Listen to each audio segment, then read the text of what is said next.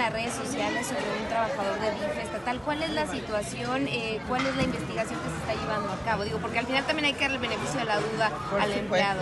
La presunción de inocencia debe de existir en cualquier eh, presunción de delito o de agresión que se haya cometido en cualquier parte de, de todo México.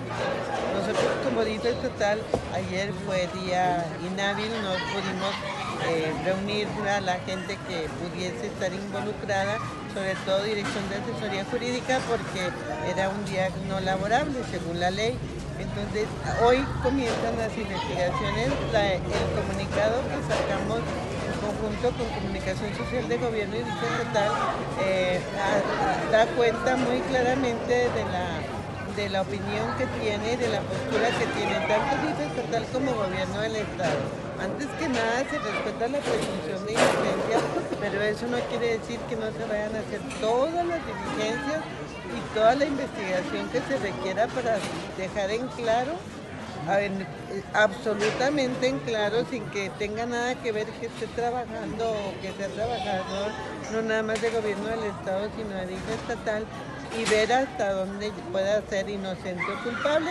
Ya hay una denuncia, correrán los tiempos que se requiera, hacer las investigaciones que necesiten y nosotros actuaremos estrictamente conforme a derecho.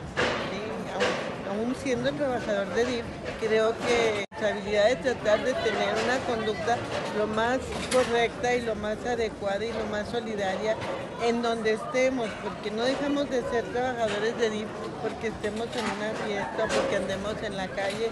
Creo que eso es muy importante.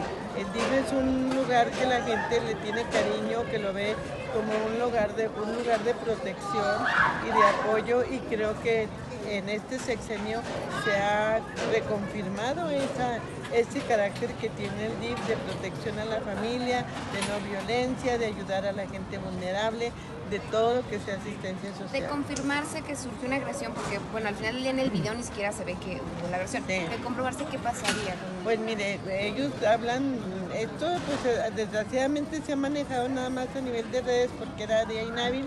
Yo lo que he escuchado y en la conversación que ella, que la esposa, la esposa del, del presunto agresor hace, pues obviamente que ella hace una relatoría muy diferente a la de la persona que denunció el hecho porque se sintió agraviada o fue golpeada, que queda totalmente eso en manos de la denuncia de la fiscalía del juez, que nos digan qué sucedió. En caso de que se eh, que salga culpable, pues obviamente que las consecuencias se van a tomar de acuerdo a la gravedad del hecho.